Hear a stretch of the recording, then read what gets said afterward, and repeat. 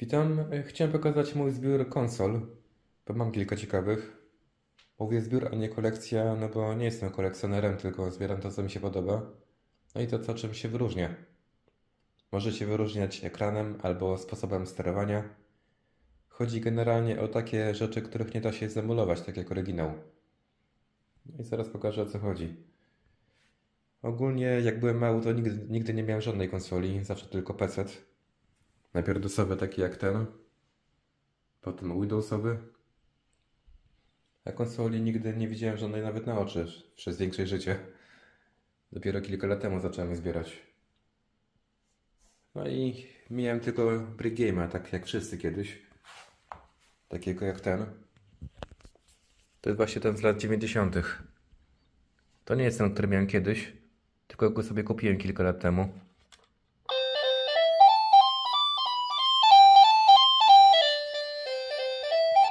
Jak widać jest strasznie głośny.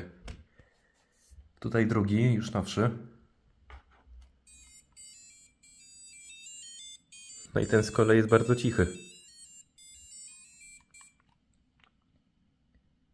No i te cztery guziki, które tu są, to jest taka lipa trochę. Bo tu jest jeden, tu są cztery, nie? Ale te cztery mają wszystkie taką samą funkcję. Tak jak ten jeden właśnie, więc takie trochę oszukane to jest. No i mam jeszcze taki malutki.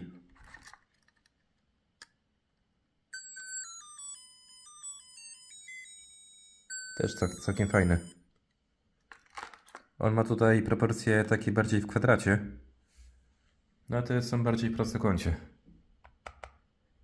No i fajne jest to, że każda z tych e, mini konsolek ma trochę inny zestaw gier. Niektóre się powtarzają, niektóre się różnią, więc nie jest to takie kopiuj w klej, tylko troszkę się od siebie różnią.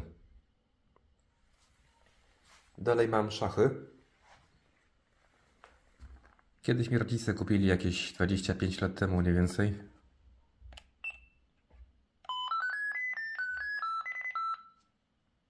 No i tak, tutaj możemy sobie wybrać oczywiście dwóch graczy, no player, czyli komputer, komputer gra sam ze sobą, białe, czarne, na przykład no player pokażę. No i teraz gracą ze sobą.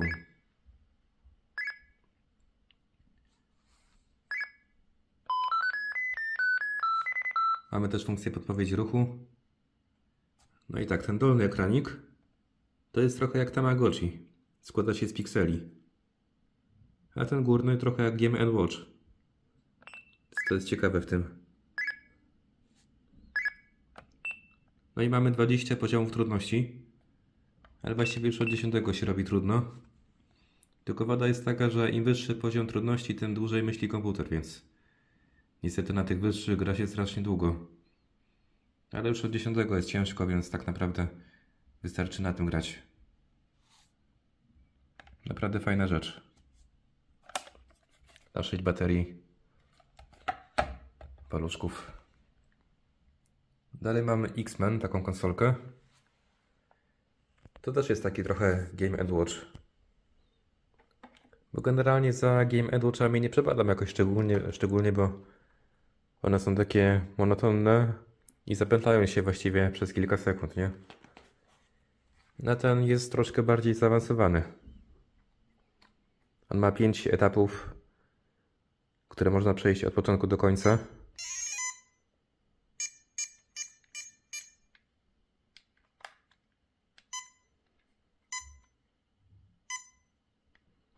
No, więc jest troszkę bardziej skomplikowany od tych zwykłych. Dlatego właśnie jego wybrałem. No i to jest już taka nowsza wersja, bo takie wychodziły też w latach 90., ale to jest już reprodukcja. Dalej mam konsolkę Electronic Mastermind z roku 77. To jest całkiem fajna wersja, troszkę taka kolekcjonerska. No bo tak, mamy tutaj takie fajne wytłoczenie w środku. Jest futerał na grę. No i w środku Mamy takie kartki do notowania. I uwaga, mamy długopis z logiem gry. Mastermind. Tak samo tutaj. O, jest wytłoczony taki napis. Więc naprawdę super.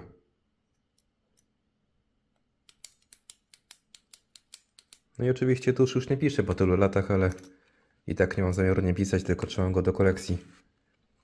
Znaczy mówiłem, że nie mam kolekcji, ale to jest taki wyjątek, można powiedzieć. No i tu jest sama gra. Można ją wyjąć z tego. Proszę, 77 rok. Tu się włącza. O.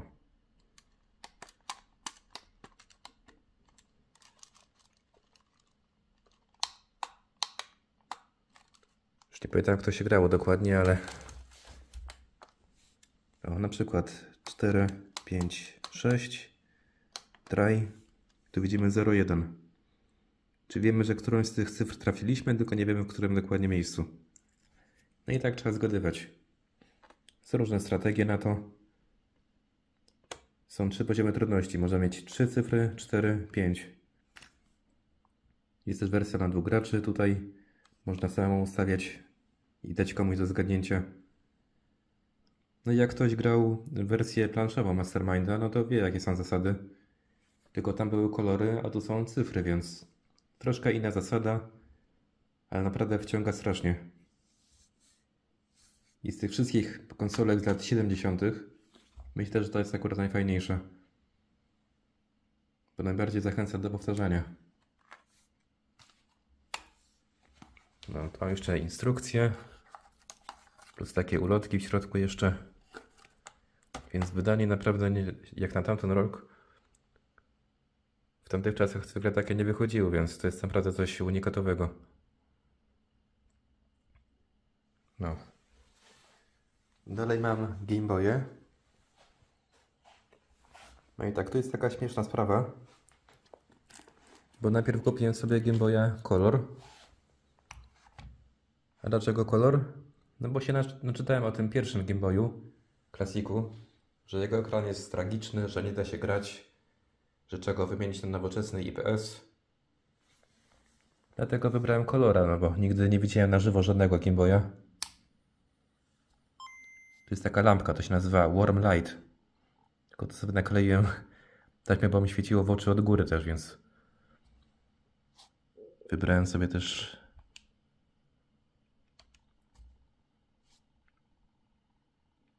w taki sposób.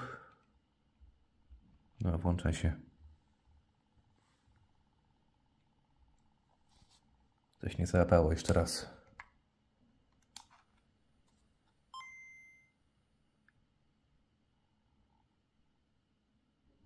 O, dobra.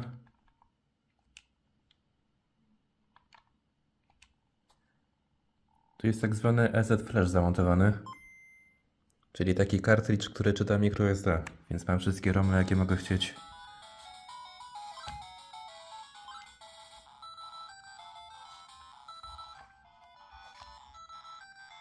No, wszystko działa.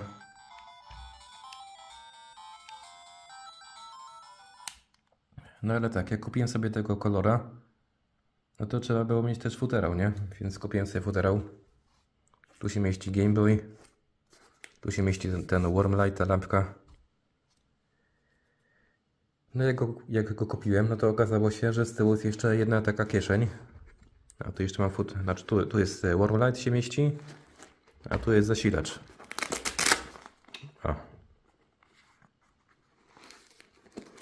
No i okazało się, że to ma jeszcze jedną kieszeń, w której się idealnie zmieściłby pierwszy Game Boy.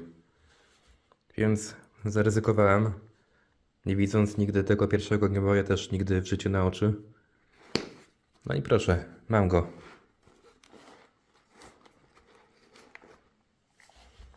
No i okazało się, że ten ekran wcale nie jest taki zły, jak wszyscy mówią.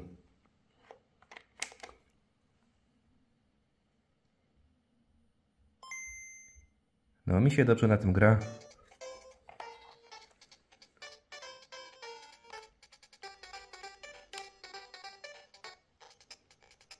No, naprawdę spoko to wygląda. Dla mnie jest jak najbardziej ok. Więc na pewno nie będę go wymieniał, tylko zostaje u mnie ten stary, oryginalny ekran. Tu jest pokrętło jeszcze kontrastu. A możemy sobie rozjaśnić, ściemnić. No, wygląda naprawdę ok.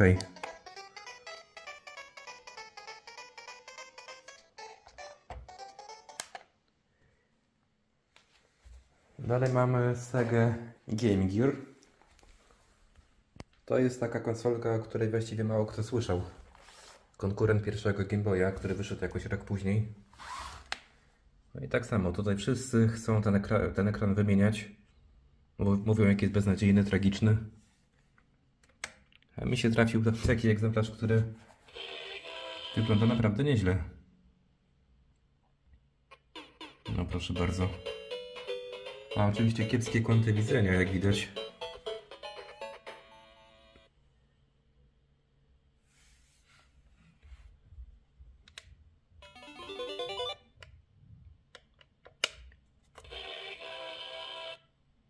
Włączaj się.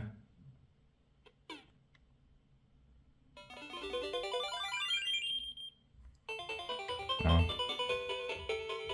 Taki trochę ekran jak CRT, nie? Taki jak kineskop trochę. Tak wygląda. Chociaż to jest LCD. No i działa to świetnie. Tu jest jeszcze też pokazał kontrastu. Właściwie jasności. Mogę sobie rozjaśnić. Sobie ściemnić.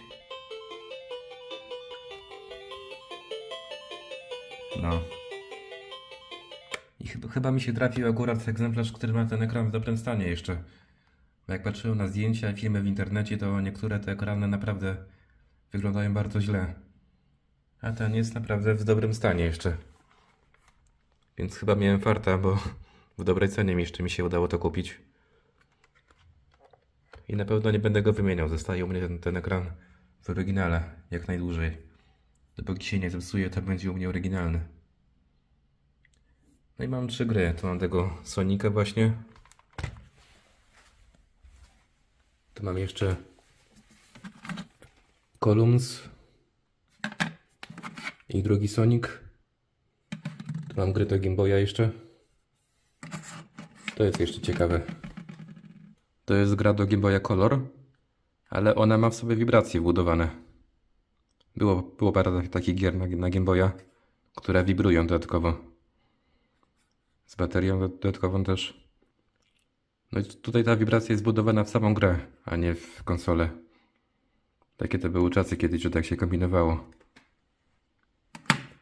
Więc też całkiem fajna rzecz. Dalej mam Nintendo 3DS w takim futerale fajnym. No i mi się trafił taki egzemplarz akurat w średnim stanie. Dlatego ma te naklejki, bo był trochę porysowany. Ale akurat mi się podoba nawet, że tak to wygląda.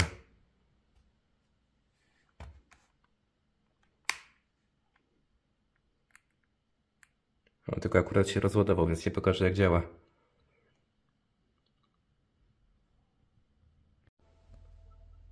Dobra, włączyłem go do ładowania jednak. Więc można zobaczyć jak to działa. Tu jest taki fajny efekt. Jak zrobimy tak. Widzicie te miecze? To reaguje na, na mikrofon. Jak postukam palca na przykład.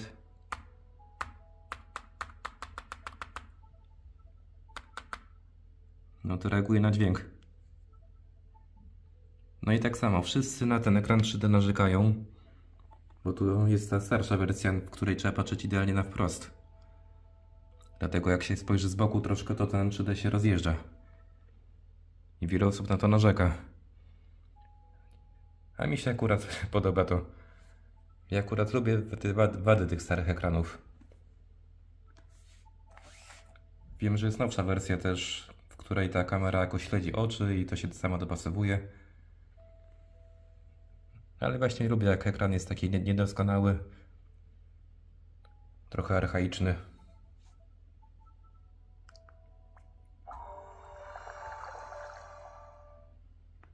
No więc jak dla mnie naprawdę fajna rzecz. 3DS. Mam parę gier na niego też. Dalej mam PS Vita. No i tutaj jest już ekran nowoczesny OLED. Ale Vita wyróżnia ten ekran tylny, dotykowy.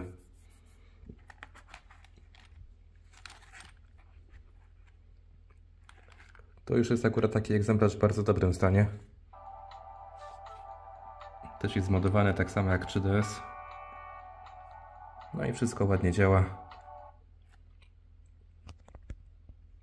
Właśnie Vita kupiłem częściowo do tego tylnego panelu, bo to jest taki trochę un- unikalny ten ekran. Plus fajnie emuluje przy na przykład Game Boya Advance, którego nie mam, Atari Lynx czy też inne konsolki. Więc tak jak mówiłem, że biorę rzeczy, których nie da się zemulować, nie? No to, to w, każdym, w każdej z nich jest coś takiego.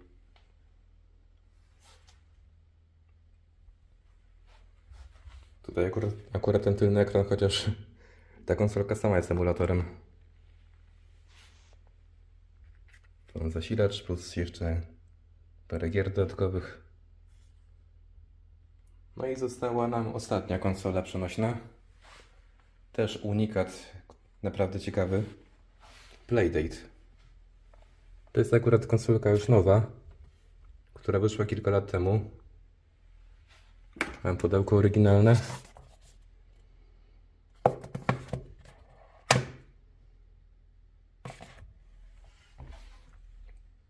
To jest naprawdę ciekawa rzecz, bo to jest konsola, która ma w sobie korbkę. Ekran czarno-biały, niepodświetlony.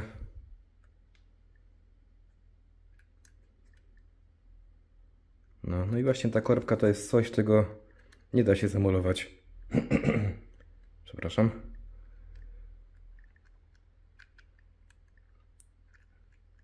No i, i wiele gier tą korbkę wykorzystuje naprawdę w sposób bardzo unikalny.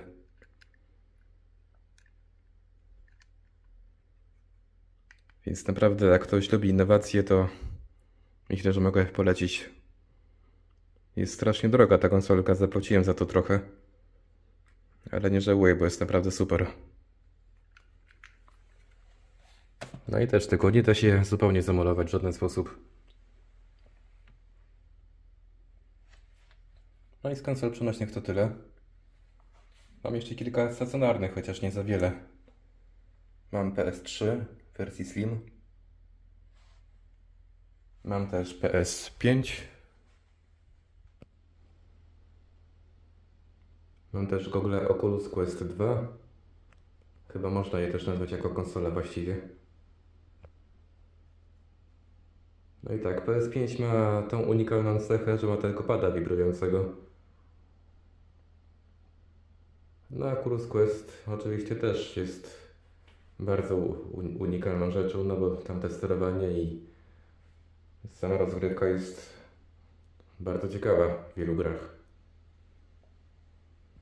Na PS3 akurat jest najmniej, że tak powiem, wyróżniającą się konsolą, bo oczywiście ona nie ma nic takiego właściwie unikalnego w sobie. Natomiast też ciężko ją zamulować, bo jest bardzo wymagającą konsolą do emulacji. No i na niej też emuluję PS2 na przykład. Podłączam sobie to do telewizora CRT albo do dużego telewizora. No i wtedy się wygodnie gra. Ten telewizor jest z 2006 roku, więc też już tak, taki trochę prawie zabytek. Ale jeszcze działa. Tu mam magnetowid, którego kiedyś pokazywałem też na filmach. No i mam jeszcze Commodore 64. Też go, też go pokazywałem na poprzednim filmie. Z magnetofonem. Wszystko ładnie działa.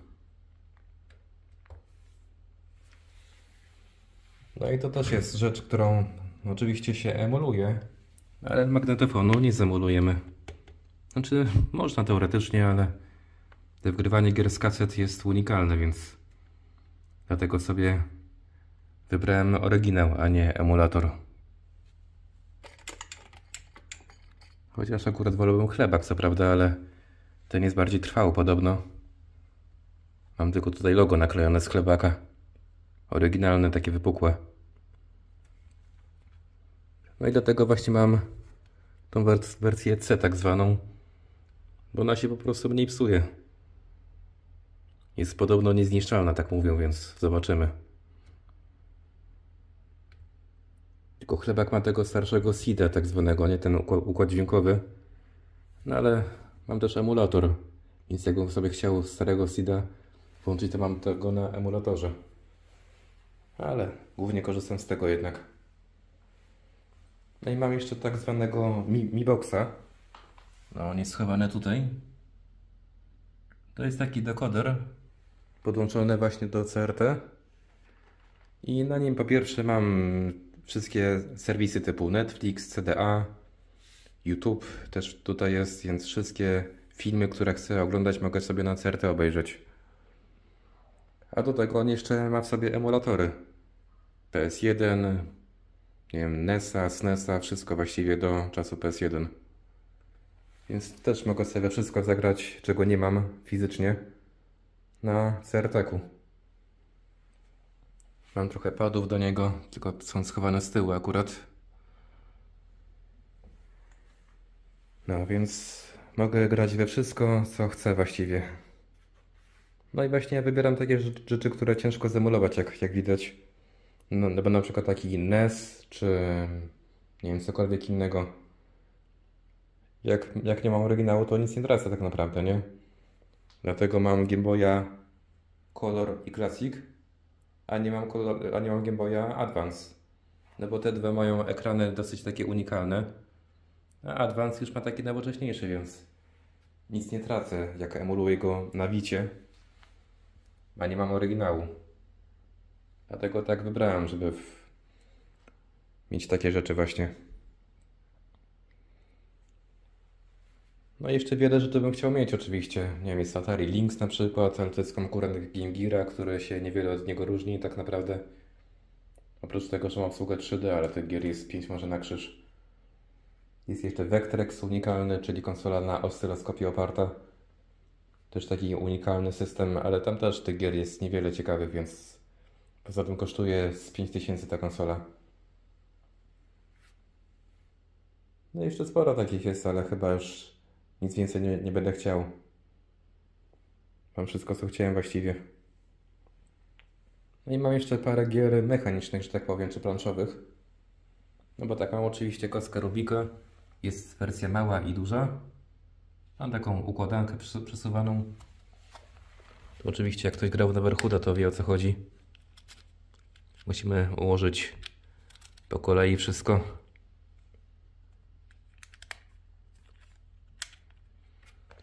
No i to jest ciekawa rzecz. To jest taki labirynt. Tu w środku jest kulka schowana.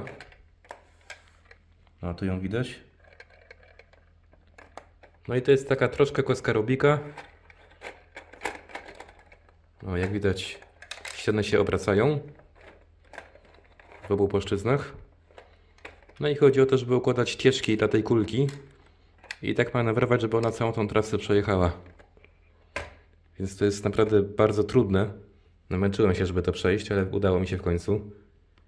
A na, naprawdę, jak ktoś lubi wyzwania i ma w sobie dużo cierpliwości, no to polecam. To jest pudełko od tego.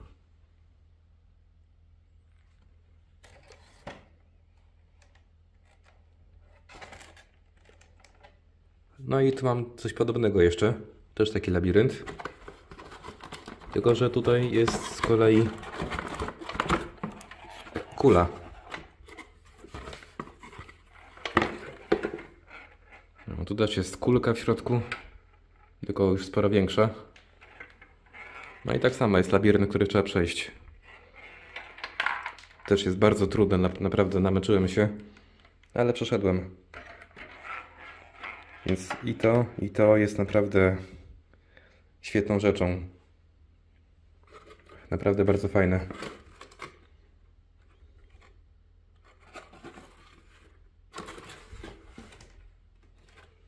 No, no i mam jeszcze dwie gry planszowe dla jednego gracza. Jedna jest pod wrogim niebem. To jest właśnie gra dla jednego gracza. Całkiem ciekawa. No i jeszcze Robinson Crusoe. Z kolei ta gra jest, jak widać, od jednego do czterech graczy. Można, można grać samemu, ale jest tak piekielnie skomplikowana, że nie, da, nie dałem rady zapamiętać wszystkich zasad.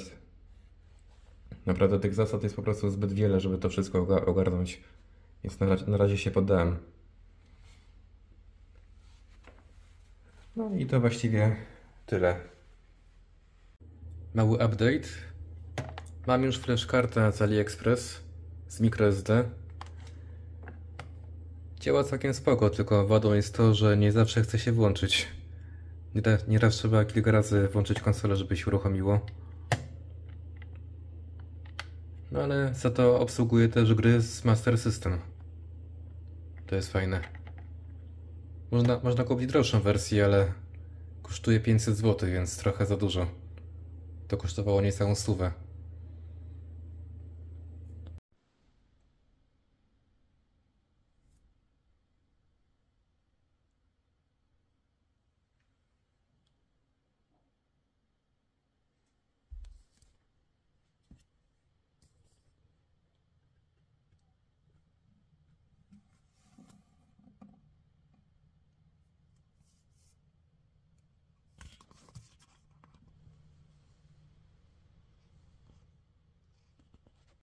Dodam jeszcze, że myślałem nad kupieniem sobie takich e, gier mechanicznych z lat 70., bo jest parę ciekawych.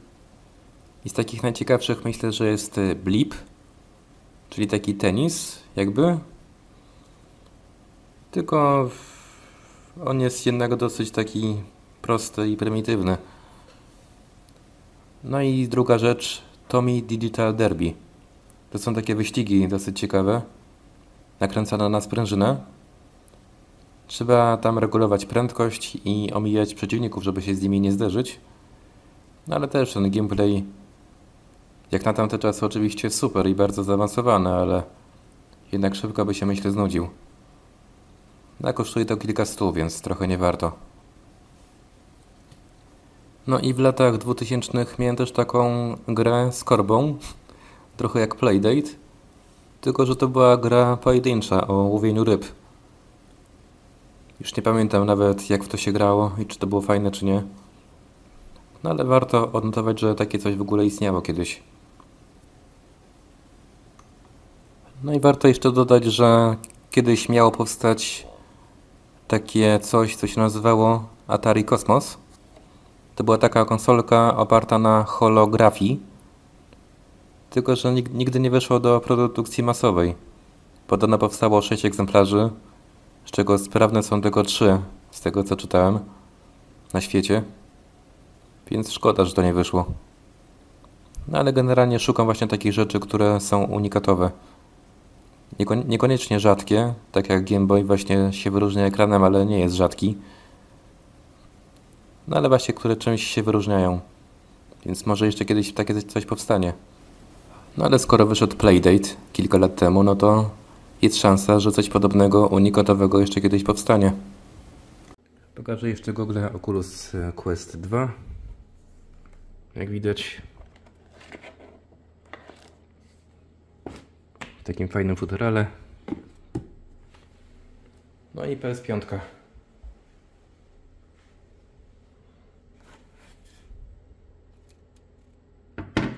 Też mam taką ciekawą osłonę, sobie dokupiłem żeby się nie kurzyło jak nie używam. Schowana z tyłu. A z kolei to jest telewizor 3D.